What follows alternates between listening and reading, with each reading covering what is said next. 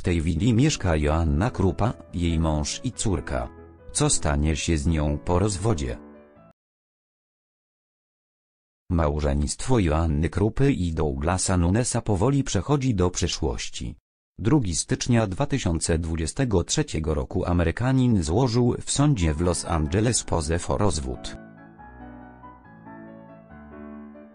Zaznaczył w nim, że wnioskuje, by modelka nie rościła sobie praw do łożenia na nią. Pojawiły się również deklaracje dotyczące podziału majątku. Joanna, Douglas i ich córka Asha mieszkają w eleganckiej rezydencji w Los Angeles. Jak się urządzili jeszcze jako małżonkowie? 27 marca 2023 roku w mediach pojawiła się informacja o tym, że Douglas Nunes złożył w amerykańskim sądzie pozew o rozwód. Kilka godzin później oświadczenie w tej sprawie wydała sama Joanna Krupa.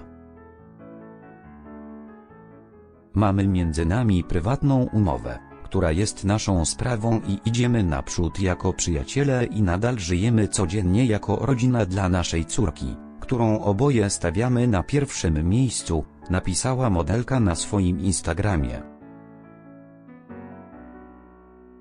Pozwie, do którego udało się dotrzeć faktowi, wyraźnie zaznaczone są żądania Douglasa Nunesa.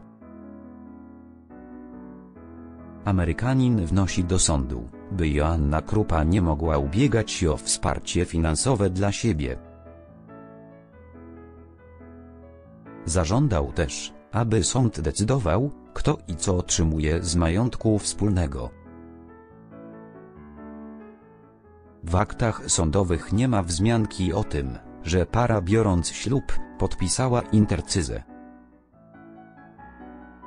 Dokumenty stwierdzają również, że majątek wspólny pary jest obecnie nieznany i że Nunes zastrzegł sobie prawo do zmiany wniosku w przyszłości lub jeszcze w trakcie trwania postępowania. Wina, w której mieszka Krupa to spełnienie amerykańskiego snu. Posiadłość, w której Joanna Krupa rezyduje wraz z mężem Douglasem Nunesem i córką przyprawia o zawrót głowy.